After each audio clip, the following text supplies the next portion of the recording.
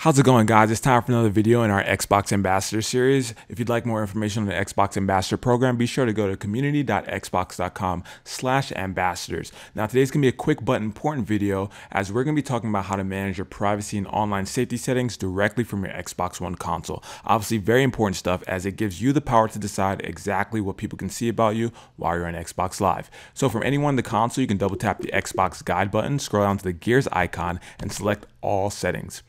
From the settings menu and account, you can scroll to the right to privacy and online safety, then select Xbox Live privacy. So what you're gonna see here are a few different account types. We're specifically gonna be dealing with adult defaults. Just know that there are options available for other account types. So scroll down to view details and customize. And here's where it gets really cool. Instead of offering presets that change your settings in chunks, Xbox Live allows you to go in here and refine each and every tiny detail so that your privacy settings are exactly how you want them. And we'll walk through a few examples. The first of which being whether others can see if you're online or not. Now by default it's set to everybody, but say I only want my friends to be able to see whether I'm online or not. I can select everybody which brings up a drop down menu and just select friends. And just like that, only my friends will be able to see whether I'm online or not. And those options are available for many different settings here, such as whether others can communicate with you via voice and text message. I'll set that to friends as well.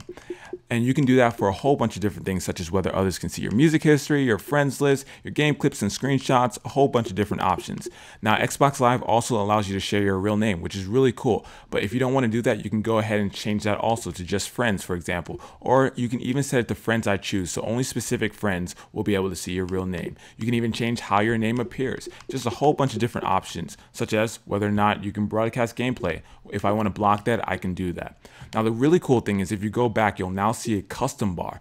These are your customized privacy settings that you just changed. But if you want to go back to the default, it's really simple. All you got to do is scroll up to adult defaults and select it. It'll then uh, ask you if you're sure you want to switch back to the defaults and you hit switch. And just like that, your uh, settings are switched back to the adult defaults. And the customization options don't end there. You can also set your contact preferences with Xbox Live. Um, it allows you to set whether or not you're sent specific offers about music, video, and games from Xbox. I'll go ahead and check that because I think that's pretty cool. You can also decide whether you are, are sent uh, promotional offers about products uh, partnered with Xbox, like games and accessories. So there are a lot of cool options. So Xbox Live really allows you to go in there and set your settings to exactly how you want, and it gives you the power to make sure that you are safe while online. Hopefully, this video was able to help you out, and if it, and if it did, please be sure to hit the thumbs up button and subscribe if you haven't already. Thank you guys so much for watching, and I will see you next time. Peace.